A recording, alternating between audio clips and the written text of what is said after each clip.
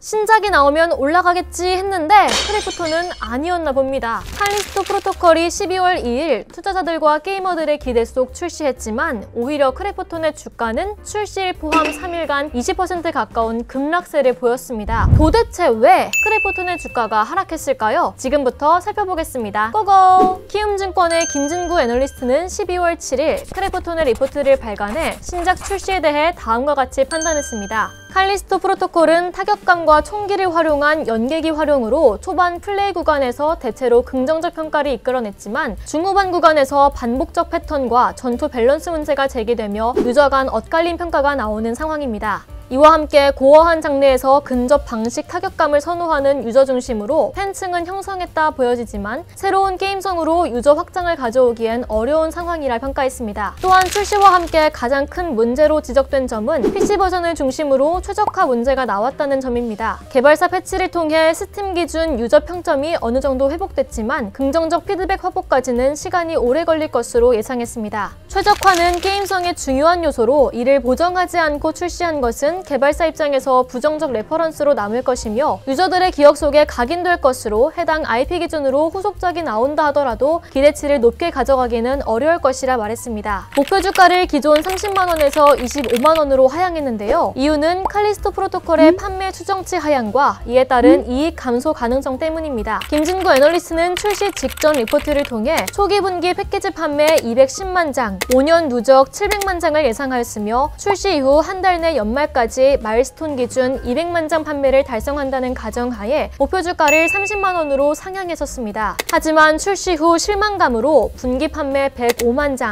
이후 4년간 판매를 포함해 누적 판매고를 350만 장으로 기존 추정 대비 절반으로 하향해 목표 주가를 재차 조정했습니다. 아쉬웠던 신작의 결과물은 게임주의 위협 요인 중 하나입니다. 칼리스토 프로토콜의 스팀 내 평점, 유저들의 평가 반전 등의 요소가 주가의 부진을 방어해 줄 겁니다. 곰차량의 종목 체크포인트 단기적으로는 신작의 성과가 중요하지만 또 하나 고려해야 될 요소는 기존작입니다. 크래프톤의 실적의 가장 중요한 게임은 배틀그라운드 그리고 이 게임의 중국 버전 화평정영입니다. 중국의 제로 코로나 정책 완화 상황과 이에 따른 화평정영의 매출 감소 가능성은 부담스러운 요소입니다. 또한 칼리스토 프로토콜의 부진에 따른 후속작의 흥행 눈높이 출시 시점 등은 불확실성 요소입니다. 다만 패치가 적용되며 분위기 반전을 꾀할 수 있으며 초기 순위가 괜찮았다는 점 PC보다 비중이 큰 콘솔에서의 성과가 남아있다는 점은 기대 요소라고 생각됩니다. 여러분 나가기 전에 구독과 좋아요, 알림 설정 부탁드려요. 안녕!